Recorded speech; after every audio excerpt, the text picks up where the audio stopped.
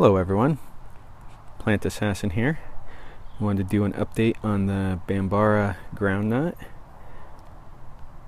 I've repotted it. I repotted it right after I did the last video. You can see that there is a lot more leafy growth and it's gotten a little bit taller but I don't think it's gonna get much taller than this uh, most of the pictures I've seen of it on the internet um, show a, a, fairly short plant. So there's a lot of new growth coming in. You can see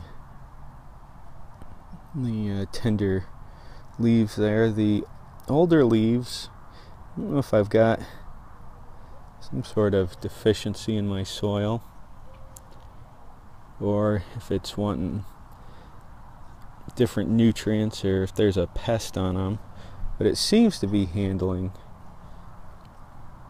it okay. We get a little bit of uh, a little bit of the leaves are crinkled there. So but it's been like that for a while and it seems to be handling it. So um, I don't know. First time growing it so who knows? I'm probably doing something that would be very obvious not to do to somebody who was familiar with the plants.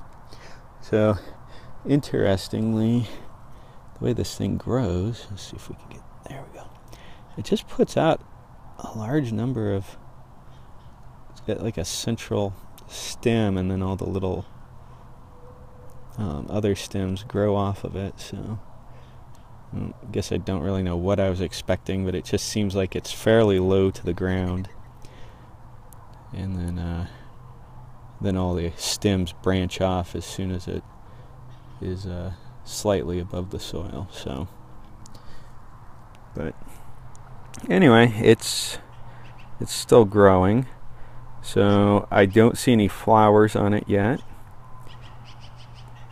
We are at the beginning of August, so it's still got at least another month that it can grow. It might have could be up to two months depending on uh, how the weather goes. But Bambara groundnut, it is uh, growing well.